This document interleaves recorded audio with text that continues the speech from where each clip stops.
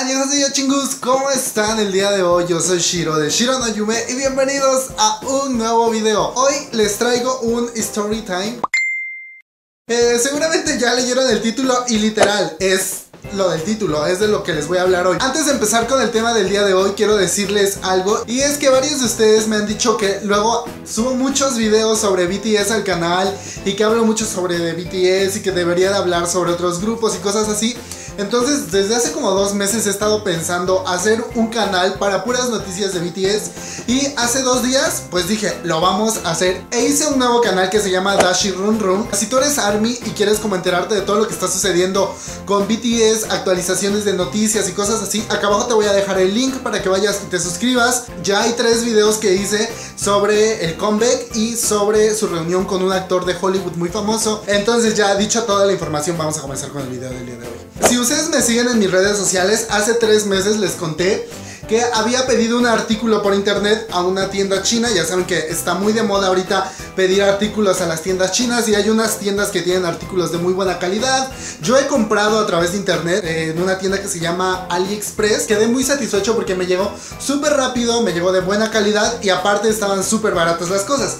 Entonces yo dije, pues bueno, vamos a volver a comprar por internet y vamos a comprarle pues a una de estas tienditas chinas. Lo que pedí solamente lo vendían tiendas chinas porque pues es un producto de China.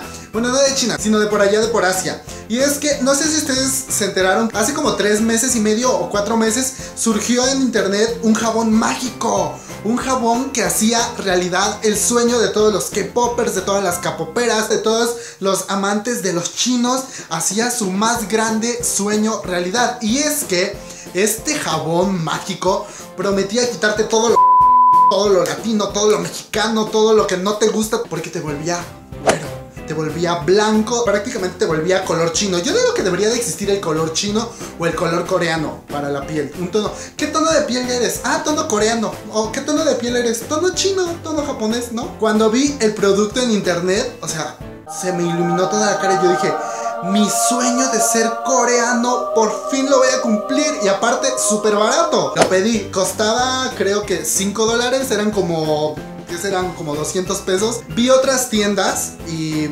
estaba más barato, pero tenía yo que pagar el, el envío. Entonces ya calculando pues el envío me salía bien caro, entonces esta tienda me decía que no me iba a cobrar envío y por eso el jabón me costaba un poco más y dije, ah, pues bueno, me evito de todo el, el pedo del envío y eso y compro este y lo pedí.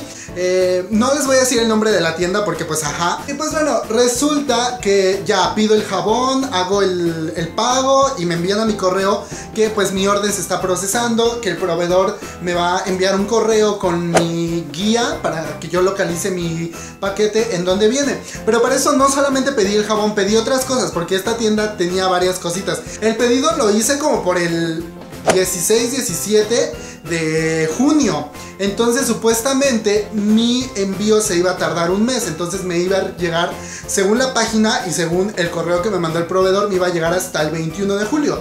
Y yo dije, ah, pues sí, está chido. Pero yo a la siguiente semana que hice el pedido me tenía que ir para Guadalajara. Guadalajara es otra ciudad aquí de México, entonces yo vivo como por hasta acá y Guadalajara está como por acá. Yo iba a estar un mes en Guadalajara y la fecha supuesta en la que me iba a llegar mi pedido, yo todavía iba a estar ahí, pero dije, ah, pues no hay problema. Les dije, les aquí en mi casa me va a llegar un paquete, lo reciben y se me olvidó por completo. Estuve allá en Guadalajara hasta el día que fui a la Friki Plaza y vi el mismo jabón. Yo dije, es cierto, yo ya pedí ese jabón. Y entonces me ocurrió a mí preguntar cuánto costaba el jabón. Y me costaba como 120 pesos. Dije, ay, mira, pero yo ya lo pedí. Entonces le dije a la chava, ay, me lo llevaría, pero ya lo pedí por internet. Y justamente está por llegar. Me le dije, no, no pregunté aquí en mi casa si ya me había llegado, nada. Pasa el mes y regreso de Guadalajara a mi casa. Y yo regresé a mi casa el día 2 de agosto. Y se supone que ya me debía haber llegado el paquete, ¿no? Porque me llegaba el 21 de julio. Y pregunto, y no, no me ha llegado. Yo dije, ah, pues a lo mejor se retrasó. Entonces voy y lo checo en, en internet, puse el número de guía y todo, y me decía que mi paquete este, no me aparecía. Pero para esto, después de haber hecho el pedido, yo puse la guía y todo, y me aparecía mi paquete. De hecho, me apareció que el proveedor lo había mandado a la oficina postal de, de Shanghái o algo así, y de ahí se había ido a Bangkok, y ahí en Bangkok iba a salir para, para México, creo, no sé para qué otro lado. Entonces, como comprobé que el número de guía sí servía, pues ya no me preocupé, pero cuando regresé a mi casa, y puse otra vez el número de guía, pues ya no me, no me aparecía el paquete. Como a los tres días volví a poner el número de guía y ya me aparecía mi, mi paquete, pero me aparecía que todavía estaba en Bangkok. Un mes yo había ido a Guadalajara, ya había regresado y se supone que mi paquete ya debería estar acá y no. Yo todavía incrédulo dije, ah, ok, sí me lo van a enviar. Pasó otra semana y media y no me llegaba, lo volví a checar, me detuvieron el paquete, no sé por qué motivo, y agarro y me pongo en contacto con la tienda que me lo vendió. Muy amable le dije, oiga, fíjese que tengo un canal de YouTube. Eh, yo necesitaba este jabón porque iba a hacer un review. Mis seguidores les gusta el K-pop. Recuerdo también que en el correo les puse que pues yo podía esperar el paquete y, no sé, ellos enviaran algo para hacerle promoción a, su tienda en el canal y todo eso. O en su defecto, si ya no se podía, que me hicieran la devolución de mi dinero. Para esto yo todo el pago lo hice por PayPal. Y recuerdo que fueron como, ¿qué serán? 45 dólares por ahí, creo que fue el total de la, de la compra. No me respondieron y yo dije, no, sí, ya me robaron. Entonces dije, ah, ok, ¿y ahora qué hago? Eh, me puse en contacto otra vez con Volví a mandar otro correo que, que, pasaba con mi paquete porque se estaba demorando, que la fecha prevista para la entrega era el 21 de julio y ya estábamos como a 10 de agosto y mi paquete no llegaba. Entonces, que si me iban a hacer la devolución o tenía yo que esperar por el paquete, pero pre y ahí sí ya les puse, pero de preferencia pido que me devuelvan mi dinero. Y no me contestaron, pero sí me devolvieron el dinero. O sea, sería como a las 6, 7 horas, llega la notificación a mi correo que estaban haciendo la transacción a mi cuenta de PayPal y ya me aparecía que me lo estaba haciendo y sí era el proveedor que me, que me había vendido estas cosas.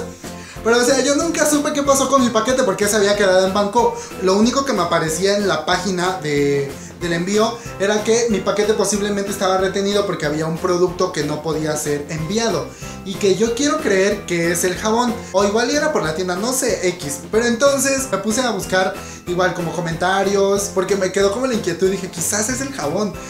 Y a muchas personas les había pasado eso con el jabón, que por que habían pedido el jabón y nunca les llegó, pero ellos sí no les habían devuelto su dinero y cosas así. Entonces dije, gracias a Dios que sí me devolvieron mi dinero, porque cuando revisé el envío y vi que no, nada más no procesaba, han de cuenta que todo mi sueño de ser coreano se vino abajo. Todo se derrumbó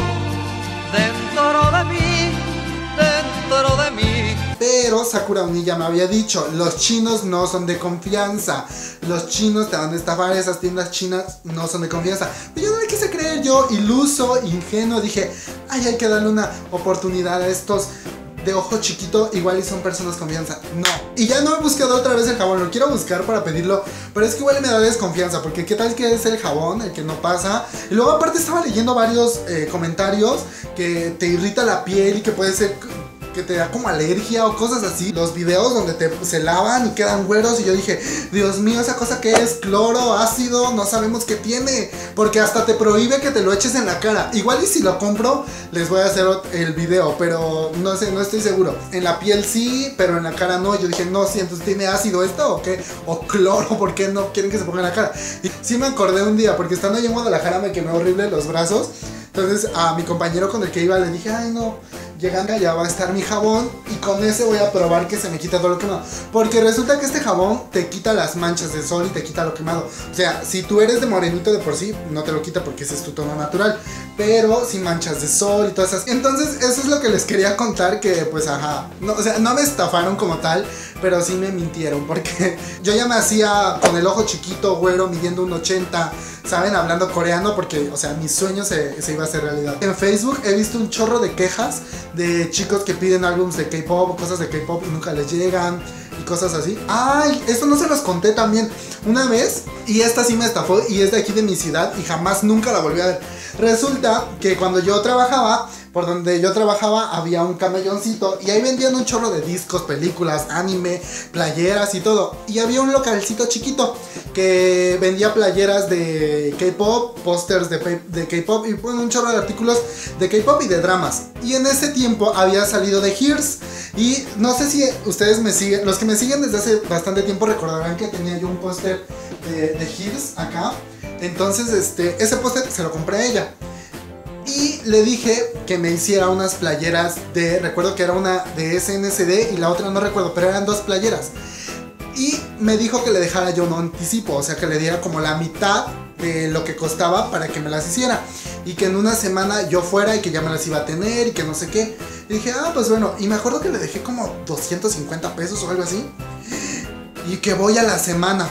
Cerrado el bendito local. La chica, esta estafadora, ya no estaba, se había ido con mis 250 pesos. Y según yo, creo que la volví a ver, pero no sé si era la misma. Después quise buscarla y como que fui a preguntar a los señores de al lado, oye, no saben qué pasó con la muchacha que vendía cosas aquí. Me dijeron, no, pues hace como una semana cerró y creo que ya no va a abrir. Y que yo así de, ay, pero se llevó mi dinero y mis playeras. Y, yo... y pues bueno, hasta aquí el video del día de hoy. Espero les haya gustado esta pequeña historia que les conté. Si a ustedes les ha pasado algo, igual que hayan comprado algo por internet y no les haya llegado, aquí abajo en los comentarios cuéntenme, les regresaron su dinero, no se lo regresaron, qué hicieron, porque yo sé que muchas veces a ustedes también les ha pasado, no soy ya el único, gracias a Dios. Ah, vamos a mandar saludos. Saludos a Daniela Carrasco, a Solo, a Joana Uzumaki, a Flor Díaz, a Angélica Hernández, a NiceCM, a Army Is Love BTS y a Sofía Toledo. Un saludo y recuerden que si ustedes quieren saludos, nada más deben de comentar, dejarme un comentario aquí, lo que sea. Y de todos los comentarios que pongan en este video voy a estar eligiendo los saludos para el próximo video, ¿vale? Y pues nada, espero les haya gustado, suscríbanse, por acá abajo hay un botoncito rojo que dice suscribirse. Le pican y le pican a la campanita que está a un lado para que así YouTube les avise cada que yo suba un nuevo video. No olviden irme a seguir a todas mis redes sociales, aquí en la pantalla les van a estar apareciendo y si no en la caja de descripción se las voy a dejar. Y también les voy a dejar el link al canal de noticias que hice sobre BTS y a mi canal de vlogs de viajes para que me sigan ahí. Y pues nada, recuerden que yo soy Shiro para Shiro no Yume y nos vemos hasta el próximo video. Bye bye.